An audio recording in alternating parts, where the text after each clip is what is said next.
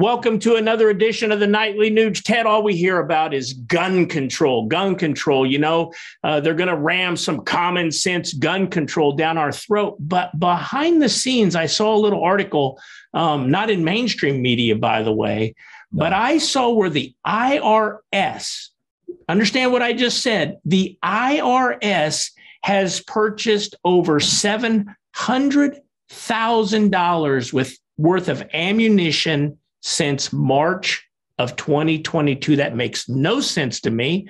And maybe you can shed some light on that to the nightly Nuge listeners. Well, you know, you're talking to the right guy, Keith, because I have a lot of friends in the federal law enforcement agencies, and I respect their warrior dedication for law and order, most of them. But unfortunately, the scammers and the, the power abusers are now running things. And I got to tell you, when you see that everybody now knows that the IRS is an illegal, immoral bureaucracy. Why in the hell would a tax agency need military artillery like the Bureau of Land Management and the Department of the Interior and the U.S. Forest Service? Remember when they confronted the ranchers out in Nevada, I believe it was, because they overgrazed their grazing rights and mm-hmm. they went after them with full military commandos in bureaucracies that are supposed to manage, you know, wild horses, which they completely mismanaged. So I could go into more and more details, but the IRS is bad. The IRS is illegal. Lois Lerner used the power of the IRS, unlimited power, to abuse conservative families and conservative uh, uh, charities. Lois Lerner, why is she not in jail? She represents the atrocity of abusive power by the Internal Revenue Service. Damn them all. How's that? Yeah, and for those of our listeners that don't know, Lois Lerner was the head of the IRS, and what, yes. she, pur- what she purposefully did was she didn't approve conservative not for profits while pushing through tons of liberal not for profits. And you know what, Ted? Last point. The IRS buying $700,000 worth of ammo it seems to me that they're trying to do something about gun control without touching the guns.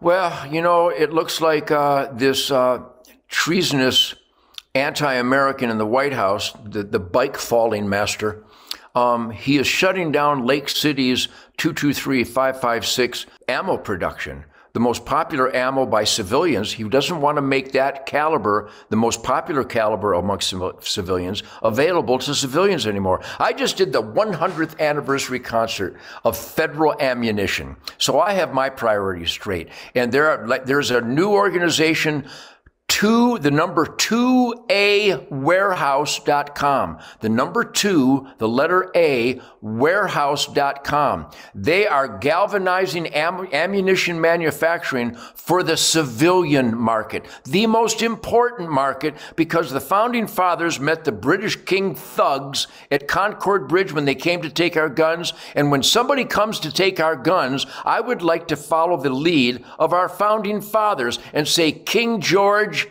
eat me. You're not disarming the public because they go from being citizens to subjects, and it ain't going to happen. Two A warehouse.com. So buy ammo, aim small, miss small, compete, plink, hunt, train.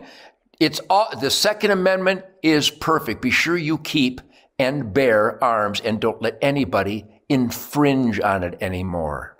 Well, if you guys come back tomorrow, I'm going to ask Uncle Ted about reparations and something that uh, Shirley Jackson Lee is proposing down out of your state, down in Texas. Come back tomorrow night. We're going to have some more hard hitting, the nightly Nuge.